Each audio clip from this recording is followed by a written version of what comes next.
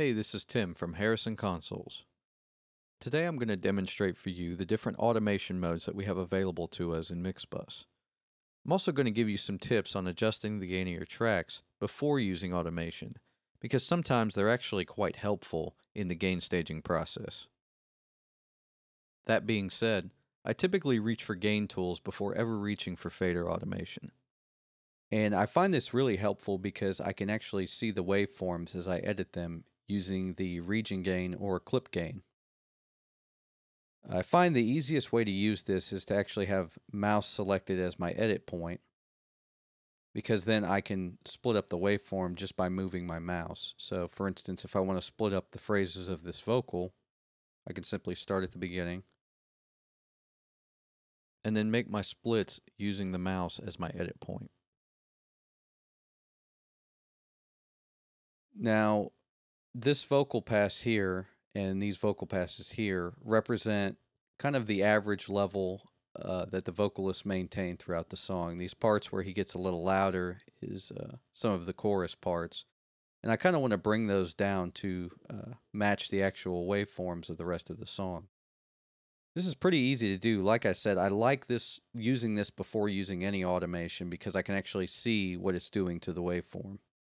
So if I select a region and then use the clip gain command, region gain, I can hold shift and press 6 or 7 to raise and lower the volume of the clip. So I can actually go through and lower all of these clips to match the average level of the vocal.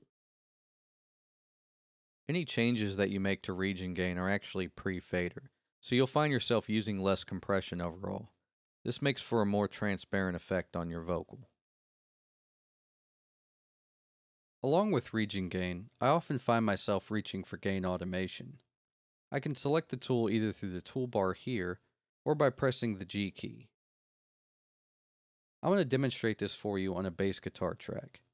For most of the song, the bass player played with an average level around here, but on the last chorus, he increased his gain by 1 or 2 dB.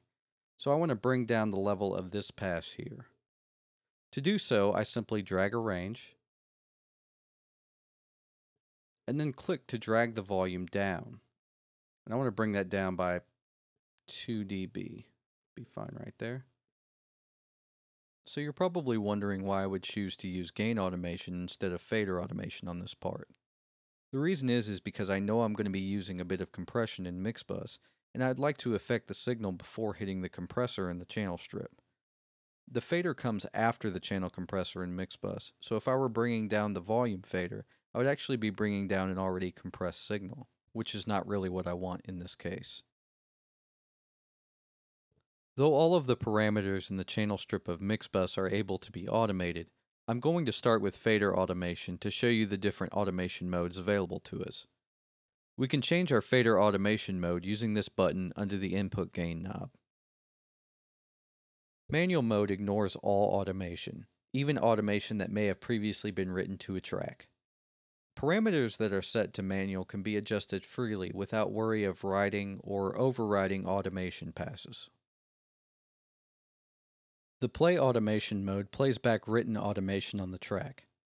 Notice that I can locate on the timeline and the parameter updates to reflect the written automation. Play mode allows me to graphically adjust automation data, but it will not let me manually adjust the parameter. It just plays back the written automation that is already on the track. The write automation mode writes back the current parameter's value in real time. So for instance, I can locate around on the timeline without fear of writing any automation. But when I play back the track and I change a parameter, this value is written in real time.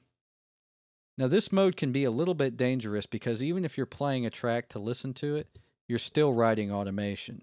So notice that change I made just now gets changed to the default parameter I actually have the bass set on when I play it back in write mode.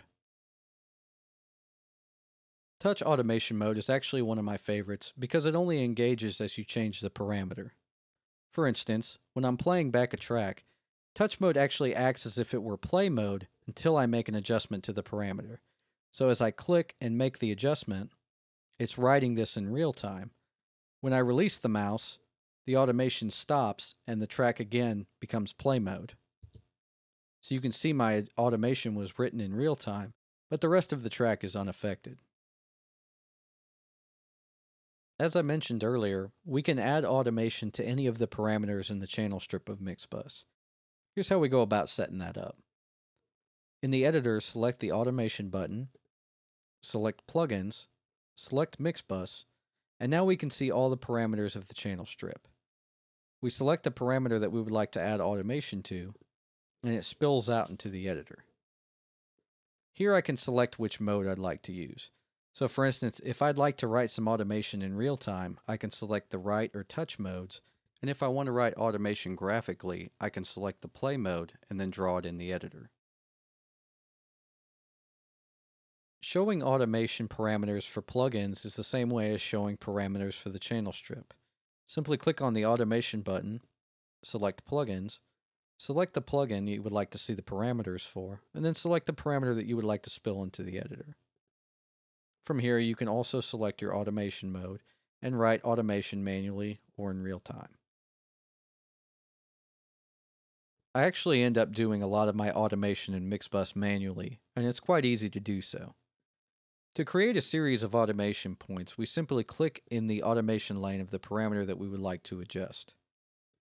With these automation points, we can make adjustments to them by adjusting the parameter up or down, and adjusting them on the timeline by moving left or right. We can also adjust the value of a series of automation points simply by creating a range and then dragging them up or down. Editing the automation in Mixbus is intuitive. Let's say, for example, that I wanted to delete the automation contained in this range here. Now, some workstations would take the two nearest points and then connect them outside of the range. But when I delete this range, I don't want to affect any of the automation outside of this range. I want it to stay the same.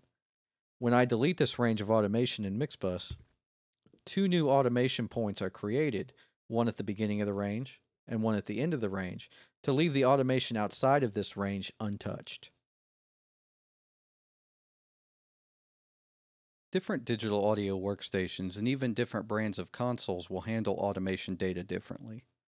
For example, Harrison consoles handle information outside of the written automation as undefined data, also known as virgin territory.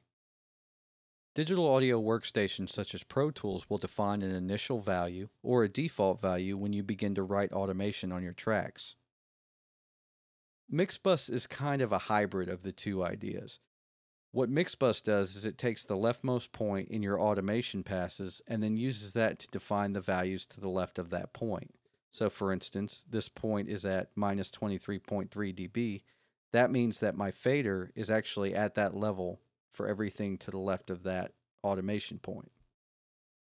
Same thing goes for the end of your automation. This value here is minus 3.1 dB. This means that my fader is at minus 3.1 dB for everything to the right of this point. So you're probably asking, well, what if I write some more automation in the track?